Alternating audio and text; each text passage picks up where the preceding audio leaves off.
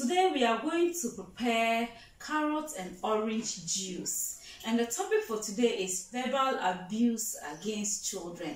And so that is what we are going to talk about. What do you think? We'll make our juice.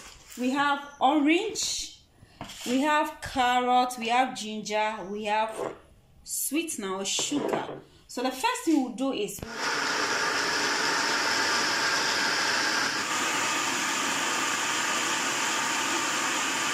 So we are done squeezing the juice out of the orange.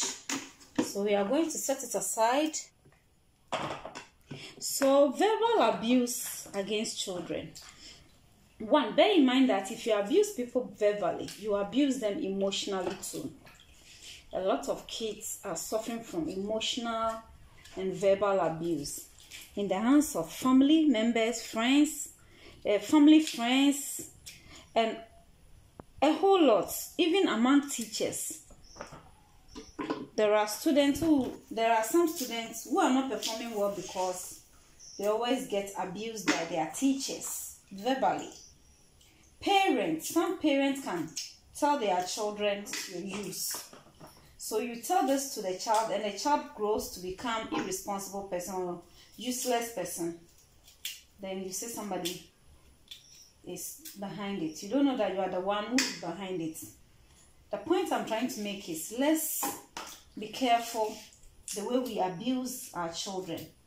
In our culture, as Africans, specifically Ghanaians, kids don't have the right to talk. And so if a child is hurting, the child won't say. It's recently that the kind of training and child rights and those things is giving some children the opportunity to speak out when they are hurt. So they say, Mommy, Mommy, you insulted me. But some time ago, a child can't say, Mommy, you have insulted me. You, you have to take it however it is. Some kids have grown up with some kind of pain in their hearts, all because of what somebody said to them. Stop comparing your kids to each other and making some of them feel they are useless, they are losers, because one seems to do far better than the other. When I was a child, I went to my mom's friend with my mom and she looked at me and said, You are ugly. Even your brother is beautiful than you. Your brother looks better than you. She said it jokingly, but that thing hurts me so growing up as a child, I thought I was ugly. I am not beautiful. Wherever I go, I see myself as an ugly person. Even up to secondary school. And because she said it jokingly and she laughed, my mom didn't think it was that much of a big deal. Because she thought, oh, it's nothing. But I was hurting inside. Even after secondary school, I still felt I am ugly.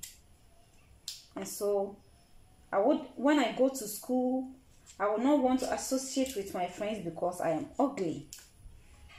You see, she has said it. It is past and gone. For her, she thought she was joking, but she didn't know those words she was saying. She was hurting me and she was killing my self-confidence. And so I grew up thinking that I am ugly. But it took one of my brothers to make me realize that I'm not ugly. Therefore, when I even go out there and I meet people and say, ah, you are beautiful, I feel, oh, they don't mean what they are saying. They don't mean what they are saying. I'm not beautiful. Because of that, growing up, I used to admire my pictures a lot. So I could stay indoors and be admiring my pictures to think that, oh, I am photogenic, but physically, I am not beautiful because of somebody's words. You don't know you are hurting someone you don't know you might be hurting someone very deep. A child somewhere you have abused there verbally, and this is causing emotional abuse. The child is being abused. Let's be careful, parents. The way we, we when they go wrong, the kind of words some people can go to the extent using those words um, in in our language kwasia the bible says Raca and you you abuse your kids this way and they grow and they become kwasia or that Raca the Bible is talking about, and whom will you blame? What you say to your children really have effect on them. Therefore, let's check the way we abuse, the way we talk to our kids and abuse them, make them feel they are foolish. Some kids are not performing well in school because of some of these ways. Let's be careful. Some kids don't want to try. They have a lot of fear in them because they have been abused verbally and emotionally. And so they see themselves, they think there's nothing good in them. So they will not even bother to try. We need to check that. I'm going to leave one of the carrots and I'm going to add it to the ginger and, and blend. The reason being that I want to blend this one without ginger because I will use the chaff for something else without ginger. Okay. And so let's be mindful of the way we talk to our children. Some of this abuse we give to children now, some children have grown up to be to be excellent in abuse. Sometimes you go out there and you see some kids quarrel, and the way, the kind of words they use for themselves, I'm like, wow. Children at this age, they can say these profane words and some of these abusive words that even sometimes even adults you find it difficult saying they will say it all because their parents are using it at home they use it at home and so these kids are, are used to they insult each other anyhow. For me i am put off by people who who joke with insult. Even if you are joking like in in someone say even the boys boys they are joking. They will say that and i'm like wow you can say this so easily. It's not it didn't if you meet people like that it didn't just happen they, they grew up with it. They lived in an environment or among family members who abuse them verbally and so they are used to it. So they grow and even when they are joking abuse verbal abuse is part of their language. They can never say anything meaningful without abusing each other verbally okay let's blend it.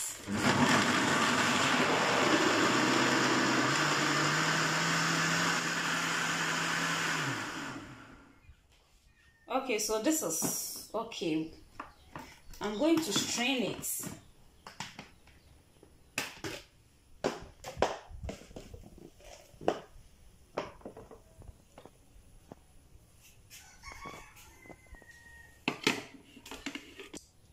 we need check it and stop abusing our kids our younger ones they grow with inferiority complex. They grow and they become dangerous. They, they become abusive. Other kids cannot even be safe around them because of this abuse emotional and verbal abuse we give them. Let's learn to give them words of encouragement words that will put them in the right direction. They will go wrong but you can discipline them without necessarily abusing them. Parents are giving their children the opportunity to speak up. You realize the number of children who are hurting and who sees themselves as inferior all because of a word a mother or a father or a brother or a family member or somebody in the neighborhood said to him or her let's stop abusing people's children calling them names laughing at them making them look stupid. Let's stop it and rather discipline them in the right direction. Okay let's blend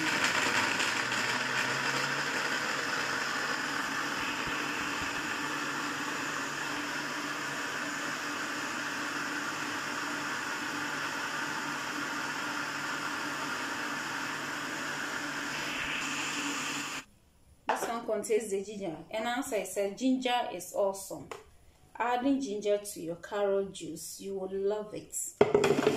You will love it. So please when you are making it add ginger and you will love the taste it tastes so great now dispose it because of the ginger in it okay so we have our orange squeezed sugar and our carrot juice and the ginger you can decide to strain it again with cheesecloth or some something that will be able to give you to take extra chaff from it and make it more liquid. But i like it this way.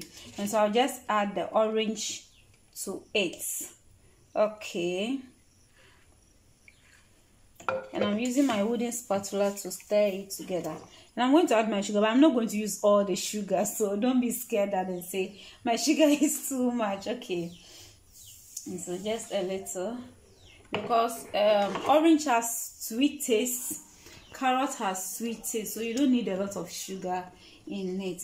And so my dear like i was saying we should be careful when it comes to the way we we talk to our children kids in the house stop abusing them. You might not know. They'll be around you do everything. And one word you say to that child is affecting a whole lot of things and you don't know. And so please don't abuse them verbally and end up abusing them emotionally. When you are out there and somebody abuses your child or you see someone abusing some child talk against it. It's not right. Stop calling them names they grow and they end up abusing you the parents too. A lot of kids don't respect their parent because of this verbal abuse you give them. And so let's stop it and be more considerate. So this is our carrots and orange juice. You will love it. Mm? and so please try it and let's see how it goes. And also my dear do you want to learn how to sew? Do you want to be able to make your own dresses at home? Then follow my YouTube channel on clothing. The name is Max Clothing. M-A-A-C apostrophe S and the clothing is K-L-O-T-H-E-N. Subscribe to it. I give videos, tutorials frequently where when you watch and follow, give yourself maximum six months, you'll be able to sew your own dress take advantage of this and and follow me. Subscribe share the videos. Also do you have a story you want us to discuss a topic you want us to share or discuss while we are cooking? Send it to my email address pendulum2 at gmail.com or follow my facebook page Adjoa Ackah and then send it as a message to my page and let's discuss all this together.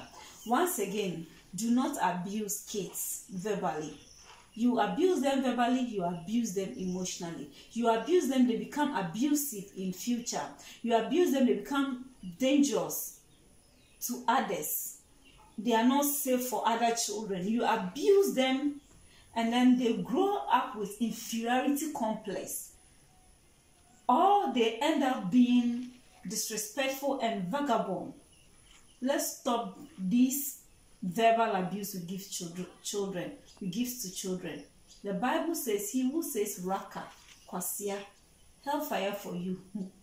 I'll get you the quotation. I'll put the quotation on the screen so that you read it. And so let's be careful. We might be joking and we'll be using it. It's not nice. Our words be positive in the life of kids. Let children want to come close to you because they know when they get close to you, you are going to give them words that will build them. Thanks so much for watching, my dear. God richly bless you.